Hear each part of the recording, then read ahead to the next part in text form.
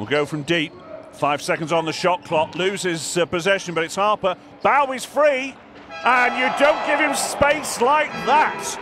Brilliant start this from Ferro. Bowie then for uh, Ferro. He's going to try and do it all himself. And why wouldn't you?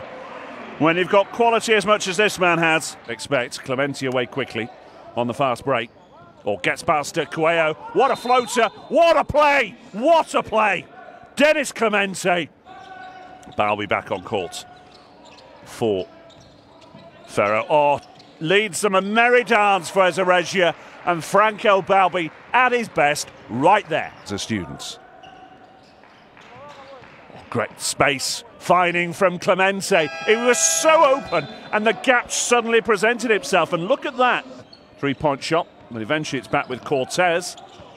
Shot clock running down. Rodriguez for a long two. Oh, brilliant! Off balance. Coming in from Cosolito. And turnover. Bowie with another chance. And the layup. Very successful indeed. Might go all the way himself. Oh, good pass. Picks out Zamora. Can he lay it up? That's good work. On the inside from Adrian Zamora. By Jaimez. And once again, there's no success. But what about that from Spano? From coast to coast. As we've seen of him.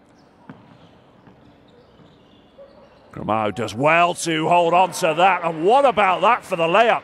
We do something special here. Spano back to Cuello from the other side.